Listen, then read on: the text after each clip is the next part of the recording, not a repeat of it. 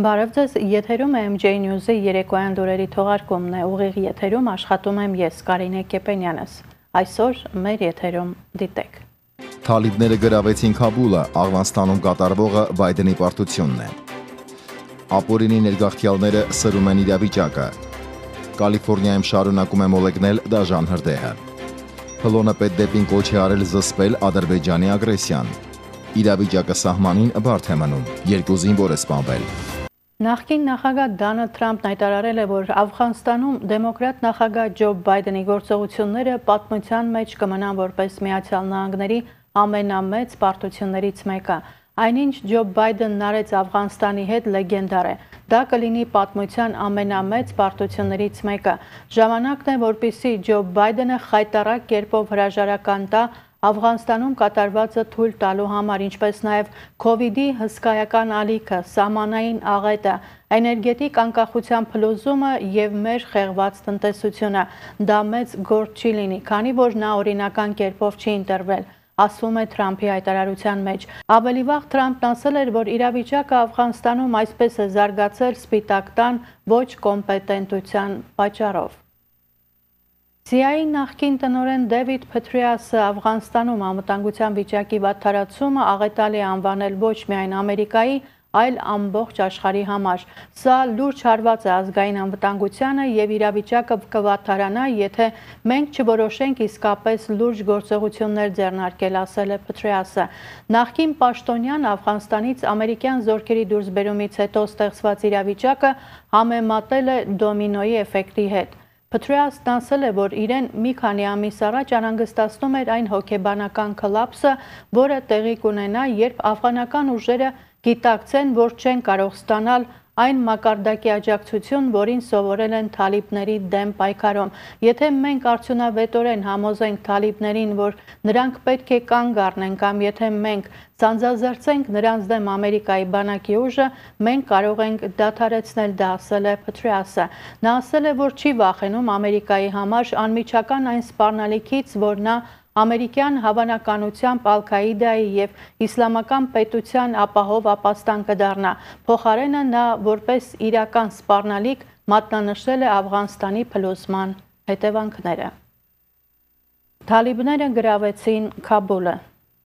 Նախկին նախագահ Աշրաֆ Ղանին լքել է Աղվանստանը։ Նա թողել է երկիրն ու ժողովրդին այս վիճակում։ Աստված նրան դատավոր։ Աղվանստանի ժողովուրդն էլ իր դատը կանի։ Այս հայտարարությամբ է հանդես եկել ազգային հաշտության բարձր խորհրդի նախագահ Աբդուլլա Աբդուլլահը, ով խնդրել է թալիբներին խաղաղ իշխանափոխության մասին։ Նախագահ Ղանին փախել է Տաջիկստան, իսկ մարշալ Դուստոմը Ուզբեկստան իրենց հետ մեծ քանակությամբ փող տանելով։ Երկրից հեռացած նախագահի կառավարությունը վերջին շաբաթների ընթացքում կատվածահ ահար վիճակում էր։ Թալիբներն ամենօր մի քաղաք կամ շրջան էին գրավում։ Պետական բանակը գործնականում չէր դիմադրում։ Ամերիկյան հետախուզական կառույցները նշում էին, որ թալիբները վաղ թե ուշ կգրավեն Քաբուլը, բայց դրա համար ըստ նրանց կպահանջվի 1-ից 3 ամիս, սակայն իրականում դա տեղի ունեցավ մի քանի օրում, ինչն իսկական շոկ էր արևմուտքի վերլուծաբանների համար։ Գրեթե բոլոր երկրներն ու միջազգային կազմակերպություններն անցած օրերին սկսել են դուրս հանել իրենց աշխատողներին։ Սա տարհանում չէ, ընդհանրապես դուրս բերում է անցած շաբաթ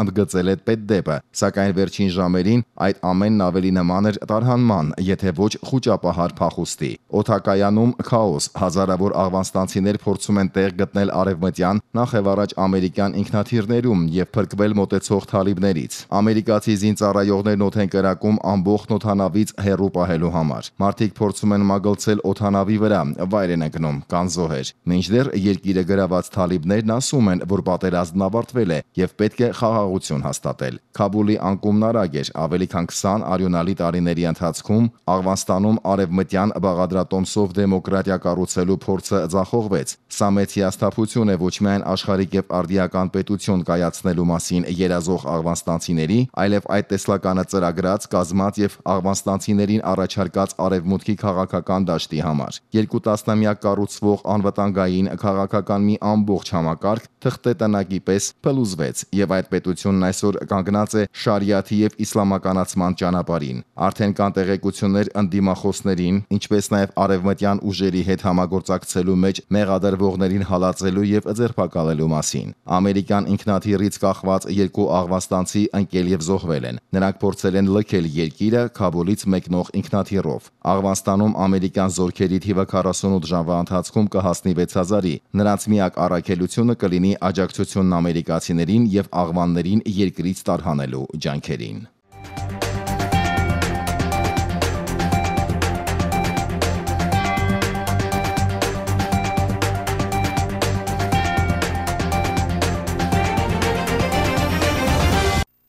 Նյու Յորք նահանգի օրենսդիր Մարմինը կկանգնեցնի նահանգապետ Էնդրյու Քոմեի իմպիչմենտի նախապատրաստական աշխատանքները հենց նա հեռանա պաշտոնից։ Օրենսդիրները եկել են այն եզրակացության, որ ճունեն բավարար լիազորություններ պաշտոնը լքող պաշտոնյայի դեմ իմպիչմենտի գործընթաց սկսելու համար։ Միևնույն ժամանակ նրանք կարծում են, որ եթե Քուամոն մնար իր պաշտոնում, ապա նրան համապատասխան մեղադրանքներ կառաջադրվեին։ Ենթադրում ենք, որ արկա ապացույցները կհանգեցնեին իմպիչմենթի, եթե նա հրաժարական չտար, նշել է օրենսդիր ժողովի խոսնակը։ Ավելի վաղ Կոմոն հայտարարել էր պաշտոնից հեռանալու որոշման մասին։ Նյու Յորքի նահանգապետը բազմաթիվ անճշտություններ է հայտնաբերել նահանգի դատախազության զեկույցում, որը վկայում է այն մասին, որ նրան մեղադրում են անպատշաճ պահվածքի համար։ Երկու շաբաթից հրաժարականի որոշումը ուժի մեջ կմտնի եւ նահանգապետ կդառնա Կոմոյի տեղակալ Քյաթի Հոքլը։ Նա նահանգի պետության պատմության մեջ այս պաշտոնը զբաղեցնող առաջին կինը կլինի։ Ամերիկյան ներքին անվտանգության նախարարությունն հայտարարել է, թե համավարակի հետ կապված նոր սահմանափակումների ներդրումը կարող է ծայրահեղական տրամադրություններ առաջացնել։ Տարածված փաստաթղթում նշվում է, թե ներքին ահաբեկիչների թիրախները կարող են դառնալ Նյու Յորքի եւ Վաշինգտոնի բազմամարդ օբյեկտները սեպտեմբերի 11-ի կամ կրոնական տոների նախորդին։ Նախարար Ալեհանդրո Մայորկացն հայտարարել է, թե ներքին ահաբեկիչները առավել մեծ վտանգ են ներկայացնում Ամերիկայի համար, իսկ ծայրահեղական գաղափարները շարունակում են տարածվել ամերիկյան հասարակության մեջ։ Նախարարության հայտարարությունը հնչել է համավարակի նոր դեպքերի աճի ֆոնին։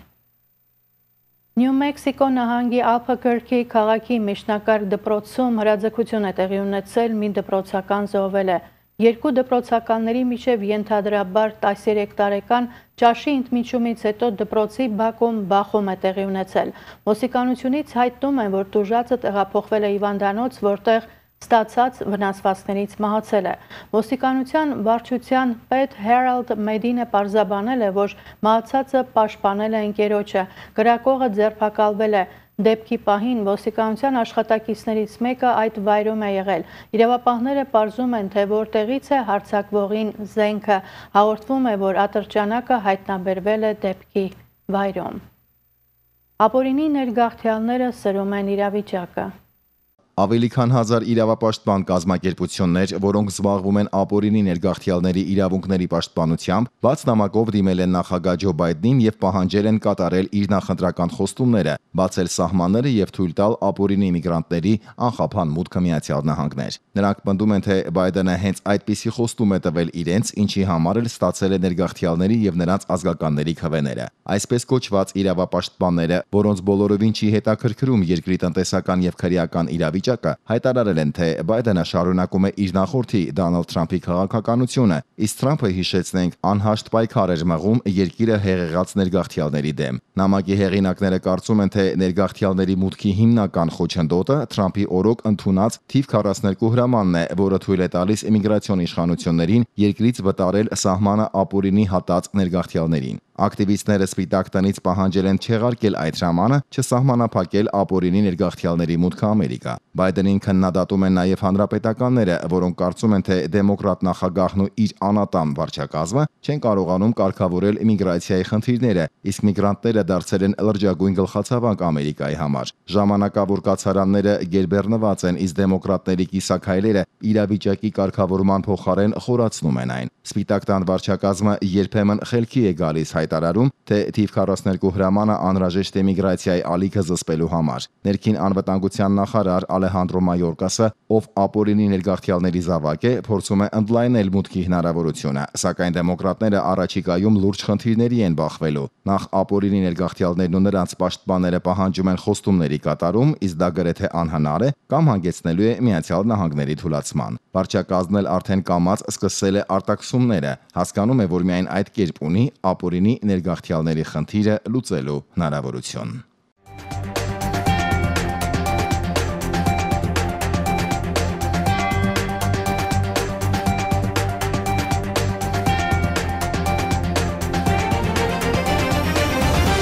Տղամարդը, որը Լոս Անջելեսի քաղաքապետարանի դիմաց բողոքի ակցիայի ժամանակ դանակի հարված էր ստացել, արդեն դուրս է գրվել հիվանդանոցից։ Հիշեցնենք, որ Լոս Անջելեսի քաղաքապետարանի դիմաց բողոքի ակցիա էր եղել, այն վերաճել է բախումների պատվասման կողմնակիցների եւ հակառակորդների միջև։ Շաբաթօրը մի քանի 100 անձինք Պաստառներով եւ դրոշներով բողոքի ակցիա են արել քաղաքապետարանի դիմաց բժշկական ազատություն պահանջելով։ Մի տղամարդու դանակահարել էին, իսկ լրագրողը հարված էր ստացել։ Վիրավորին տեղափոխել էին հիվանդանոց, բժիշկները փրկել են նրա կյանքը։ Լոս Անջելեսի ոստիկանության սպա Մայքլ Լոփեսի խոսքով որևէ կասկածյալի չեն ձերբակալել նաև KPCC ռադիոյի թղթակցին ծեծելու դեպքով։ Բռնությունը դատապարտել են քաղաքի իշխանությունները։ Դիմակ չկրելը եւ պատվաստմանը դեմ լինելը հայրենասիրություն չէ։ Մենք կարող ենք տարաձայնություններ ունենալ, բայց բռնությունների դիմել չի կարելի,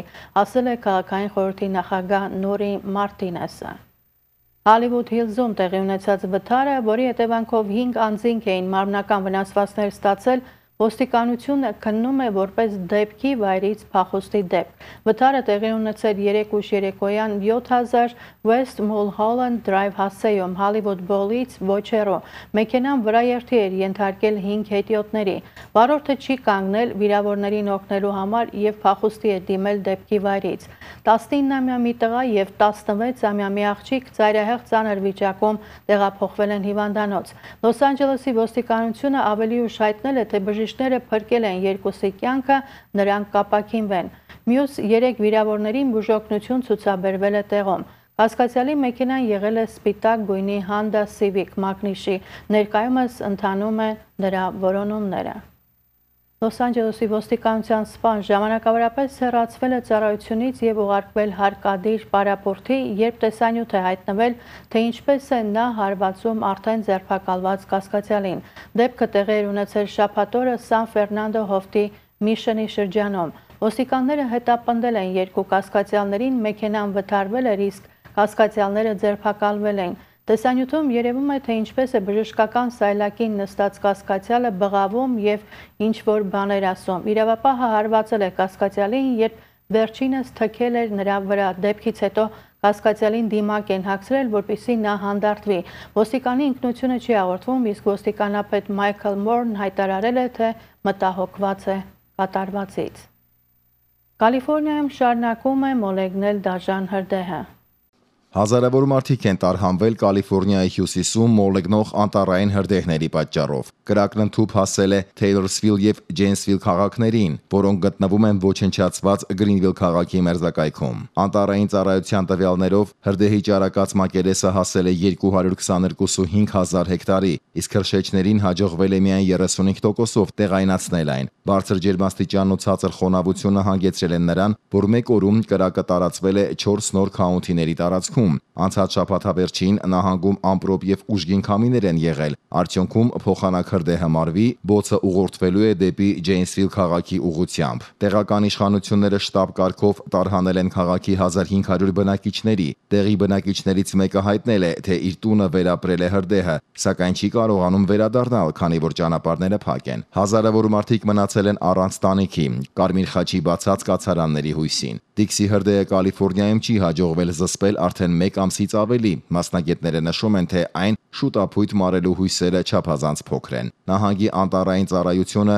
չունի համապատասխան մարդկային եւ նյութական ռեսուրսներ, որպիսի կարողանա արագորեն մարել կրակը։ Դիքսին արդեն իսկ ճանաչվել է Ամերիկայի պատմության խոշորագույն հրդեհը։ Այն վերացրել է 1120 շինություններ եւ այսօրվա դրությամբ սպառնում է մոտ 15000 առանձնատների։ Ամպրոպները անձրևներ չեն բերել, փոխարենը ուժ գնացել են քամիները, իսկ Սիերայի հյուսիսային հատվածում իրավիճակը բարթանում է։ Օթերևութաբանական ազգային ծառայությունը հայտնել է, թե ջերմաստիճանը կրկին բարձրանում է, կարող է հասնել մինչև 100 աստիճանի ըստ Ֆարենհայթի, եւ դա նոր հրդեհների պատճառ կարող է դառնալ։ Մնացեք մեր եթերում կվերադառնանք գովաստային ընդմիջումից հետո։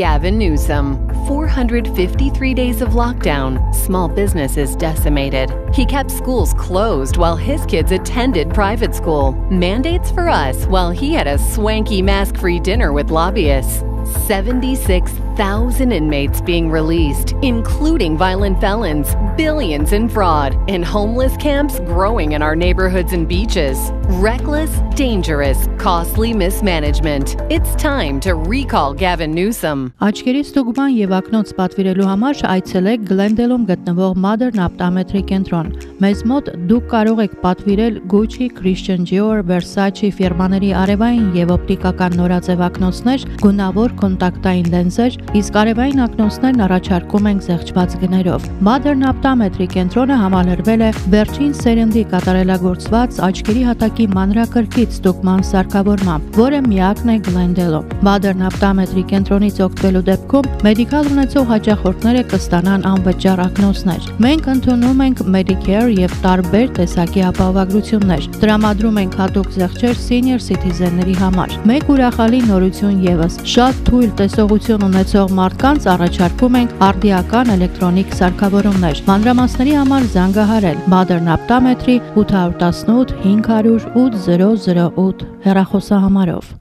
Թամարա պաղպաղակ միակ պաղպաղակն է, որ 98 թվականից ներմուծվում է Ամերիկա եւ ունի միջազգային բոլոր պահանջները բավարարող համապատասխան վկայական։ Աշխարհի տարբեր երկրներում լավագույն գնահատականի արժանացած եւ 2016-ի տարվա լավագույն պաղպաղակ բնական, համեղ եւ մատչելի գներով պաղպաղակը կարող եք ձեռք բերել բոլոր հայկական խանութներում։ Պահանջեք հայկական պաղպաղակ, Թամարա պաղպաղակ եւ օգտակար եղեք ձեր հայրենակիցներին Հայաստանի մեջ։ Ձեր հիշարժան միջոցառումներին եւ խնջույքներին հրամցրեք լավագույնը, հայկականը, վստահություն եւ բնական համ։ Թամարա, վայելեք գերագույն հաճույք։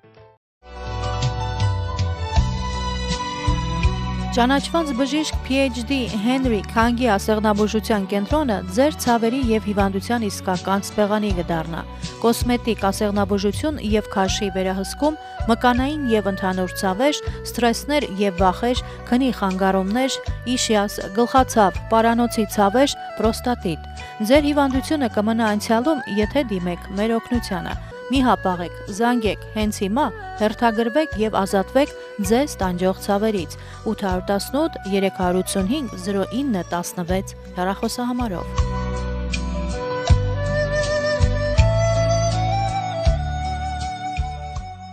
Gavin Newsom is at it again. Exaggerations and outright lies, this time with dangerous consequences. And worse, Newsom cut fire prevention funding by more than half a billion dollars. Gavin's lies could cost California lives.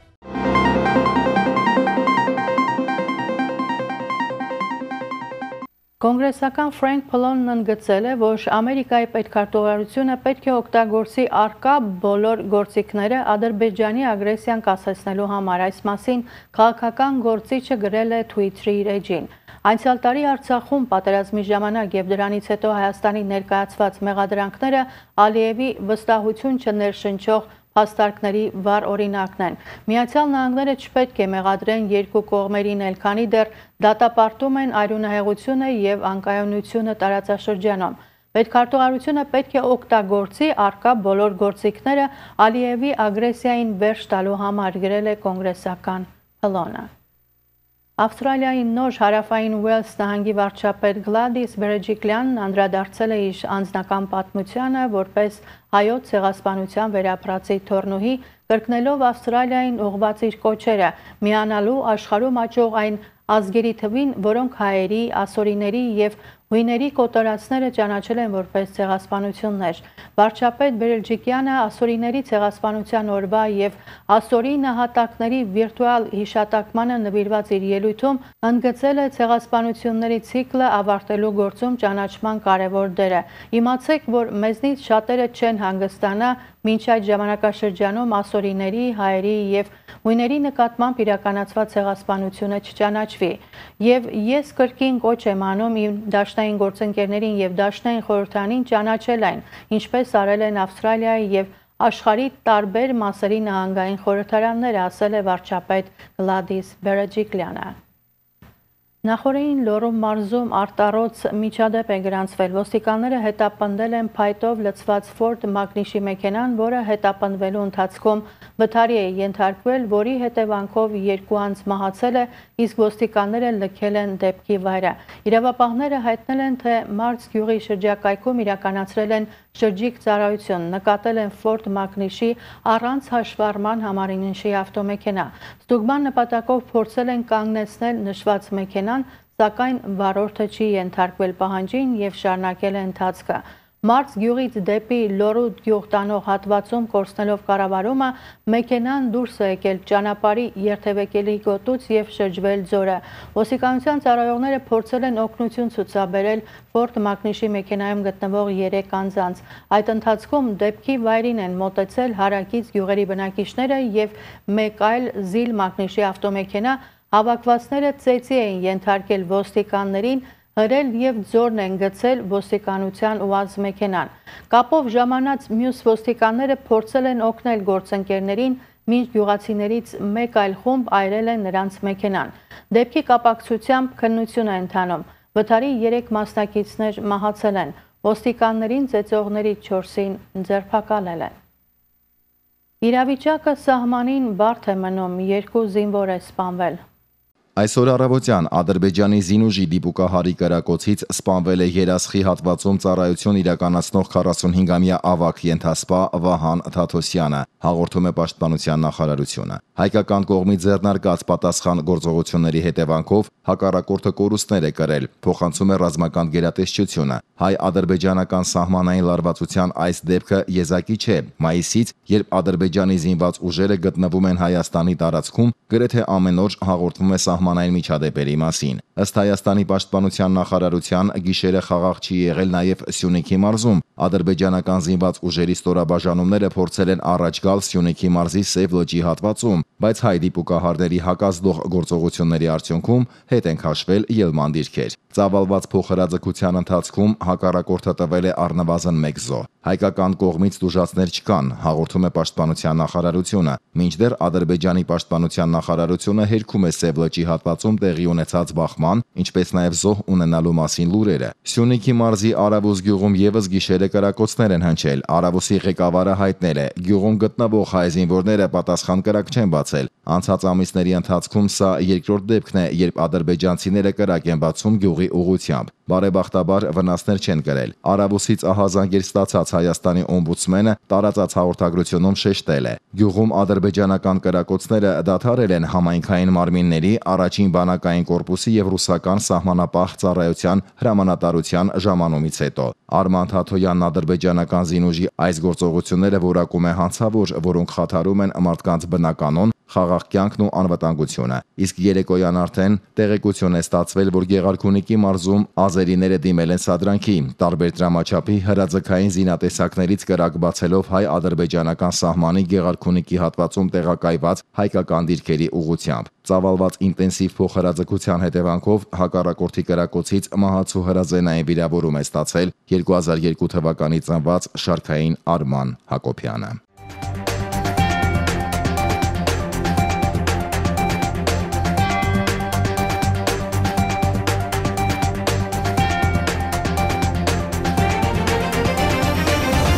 Թուրքիայի Ալանիա քաղաքում Կիրակի երեկոյան միանգամից 4 էքսկուրսիոն նավ է այրվել։ Նավերը խարսխվել էին թուրքների շրջանում, սկզբում բռնկվել է զբոսանավերից մեկը, սակայն կարճ ժամանակում կրակը տարածվել է հարևան 3 նավերի վրա։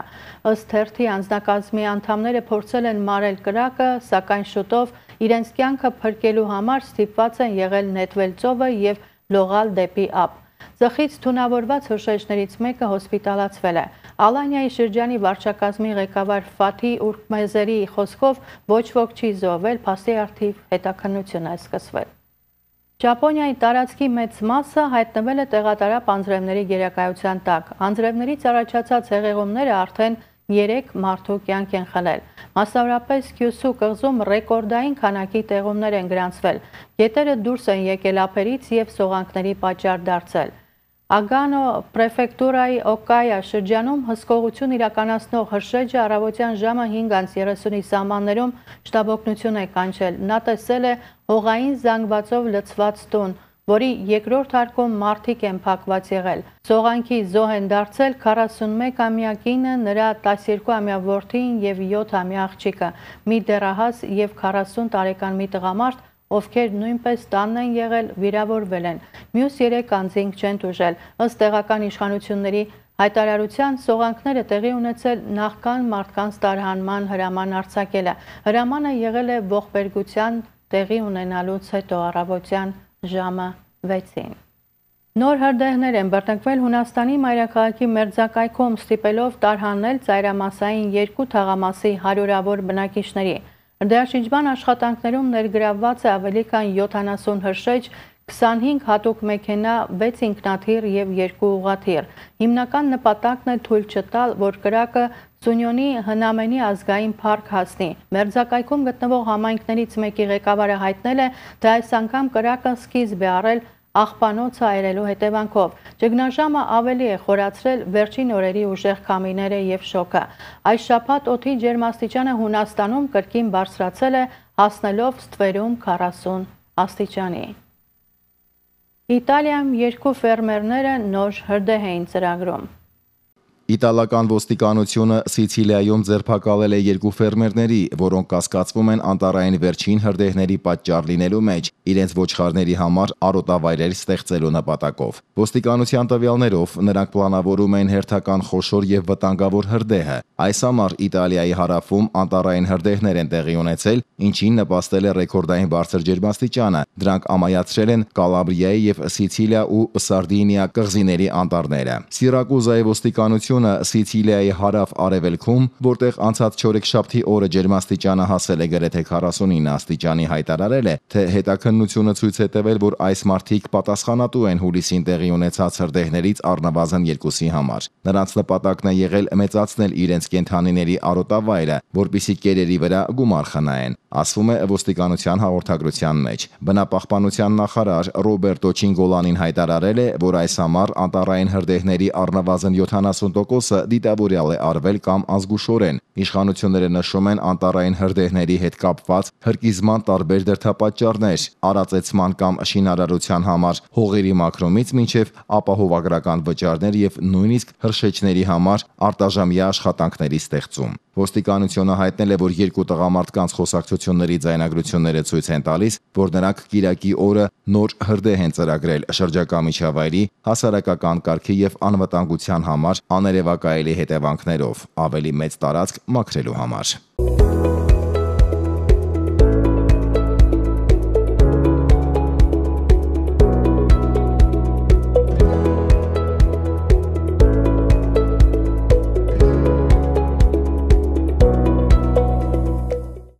Սպիտակ տան վարչակազմը հաստատել է, որ ավելացնելու է սննդային կընտրոնների գծով նպաստները 25%-ով։ Այդ մասին հայտարարել է Գյուղատնտեսության նախարարությունը։ Երիտասարդությունը նաև ծրագրում է վերանայել սննդի չափորոշիչները։ Նոր փոփոխությունների համաձայն տեղական նպաստները կավելանան 36 դոլարով եւ կկազմեն 157 դոլար։ Նախնական տվյալով օգնություն կստանան ծրագրի շահառու 42 միլիոն ամերիկացիներ։ Գյուղատնտեսության նախարարը պարզաբանելով նորամուծությունը հայտարարել է, թե դրանք բնակչության սոցիալական պաշտպանության քաղաքականության կարևոր փոփոխություններ են, իսկ նոր ծրագիրը կարող է կայունացնել ժողովրդավարությունը։ Մենք կարող ենք համանadrություն եւ անկախության հրճակագիր ունենալ, բայց եթե ունենք 42 միլիոն սոված ամերիկացիներ, երկրում անկայունություն կլինի, ասել է նախարարը։